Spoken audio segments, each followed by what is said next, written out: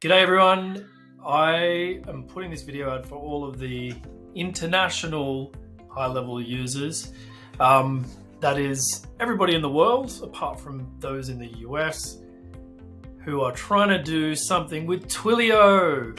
And I get this question all of the time. A lot of people from my own country, Australia, I know New Zealand has its own issues, and of course, High Level have just released their own version of a phone system, the LC phone system. So I wanted to show you guys the regulatory approval process, what I do.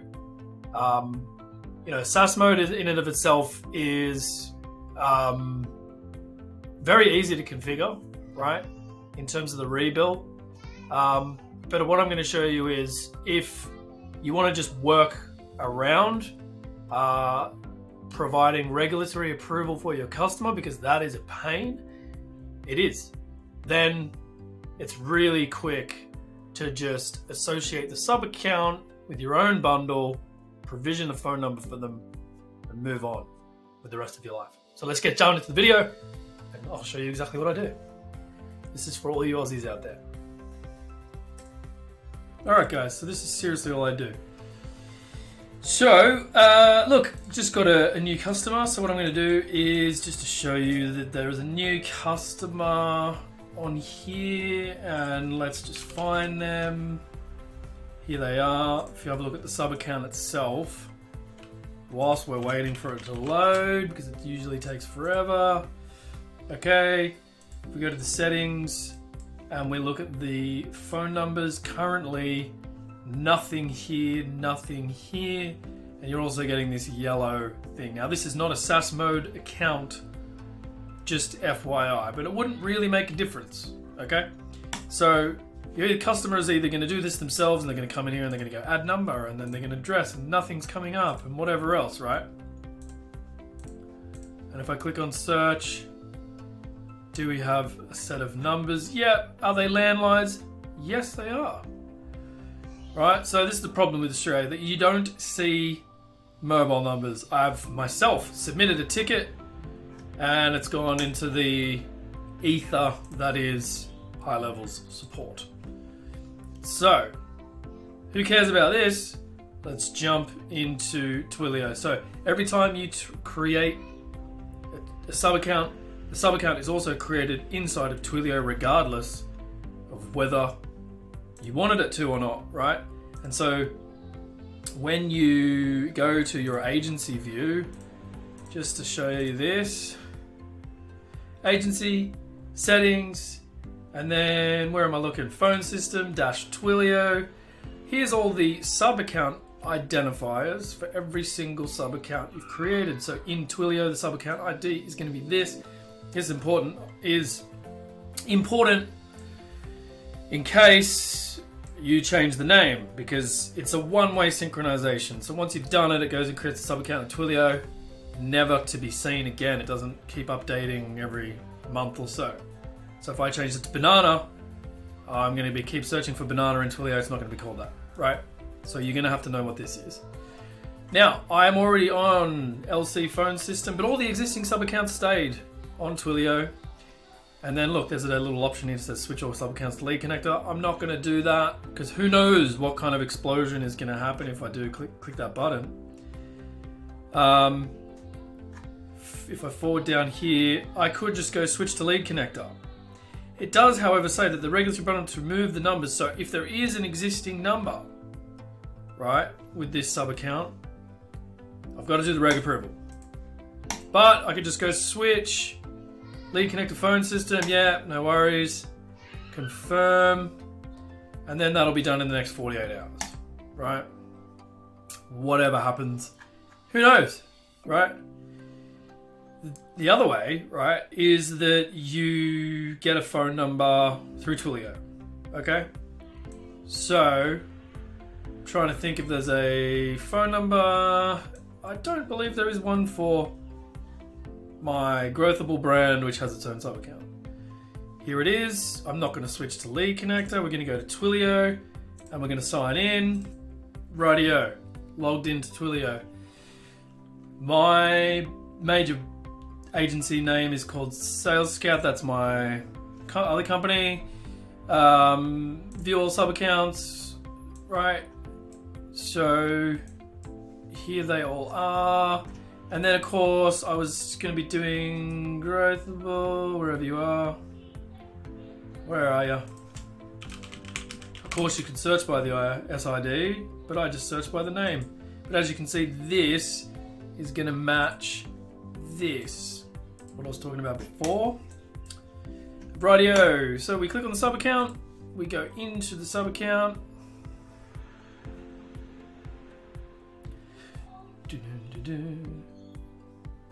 Having a bit of a strange afternoon mood wise, so just bear with me, guys. Anyway, so there's no active numbers.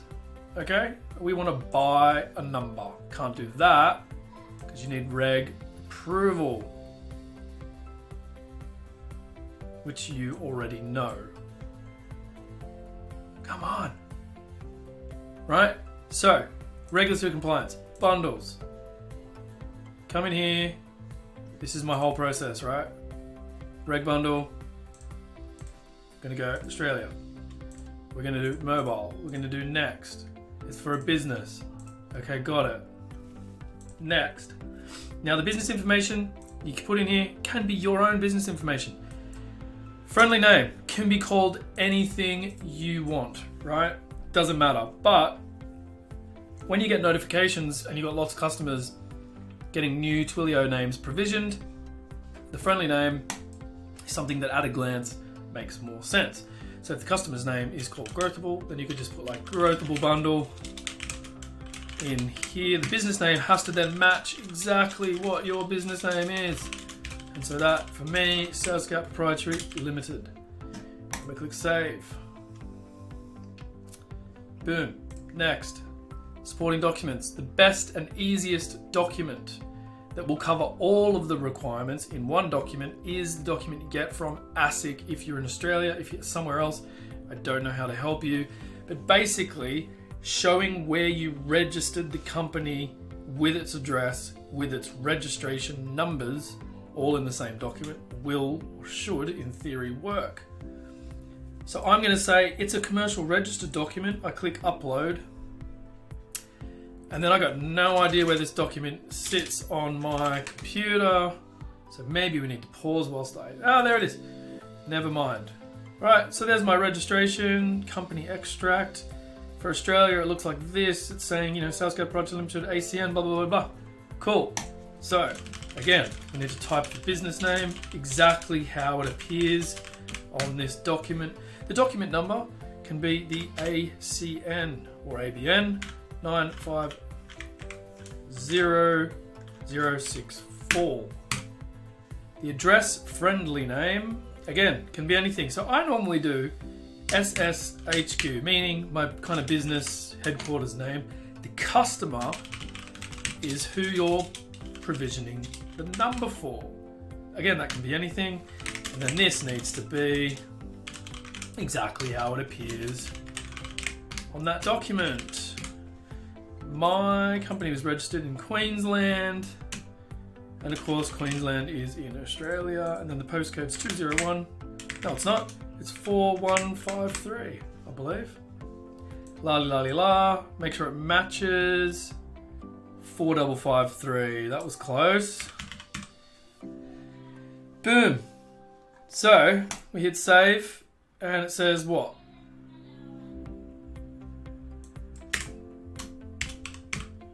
That. It needs to match exactly. So we then we've ticked all the boxes and we submit for review. Now it will create the address off the fact that I had to include an address in the bundle submission. It also says that updates go to me because I'm the major account holder and it'll come from this email address. So of course we can go in here, we get an email that says blah blah blah this bundle is currently pending approval. Now, what I'm to do here is I'm to pause the video um, and I'm to come back probably in 24 hours. So at the time of recording this, it is now About to click over 5 p.m. on the 2nd of November. I'll see you in the next video when we get our approval. Alright, guys. I woke up this morning to an email somewhere in here from. Where are they? This is what it looks like when your bundle is submitted. I just search my inbox on that. There it is. So this is the latest from them. And that bundle ID has changed to approved. So now that it's approved, you can certainly just sign in, right? So um, this is the way I do it, right? So I just I click the link and jump in here, and I'll just pause and speed this up because you don't need to sit through this. There we go. So we go phone numbers. Um, overview. I'm going to go to the sub account.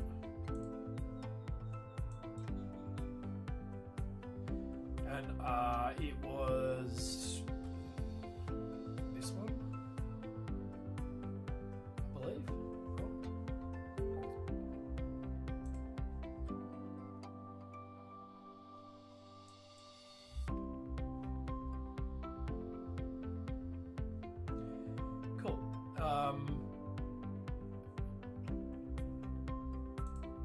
got phone numbers, manage active numbers. So now I can buy a number, right? So now this is what's meant to happen inside of high level. There is a bug or something. When you try to do this from inside high level, the API is just searching for like these numbers, right? So this call that it just that it does, that's what happens inside high level. But for Australia, you need to click fax off essentially leave voice SMS and then click search. And then that search gives you mobile numbers. Right so now we can select any of these numbers. $6.50 that's gone up. Used to be six. And we collect next and then business and then next. And then you choose the approved bundle and the address that it automatically created for you and buy done. Come back to high level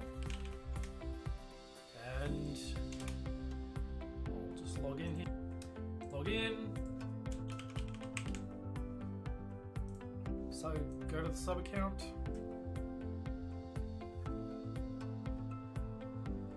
In a less crazy mood today. And radio, so settings, phone numbers, and now the phone number comes through like this, right? So then all you got to do is click add. Done. That is it. Right, so there you go. Any questions, comments? Let me know. If it helped you, please like and subscribe. Stay frosty. See you in the next one.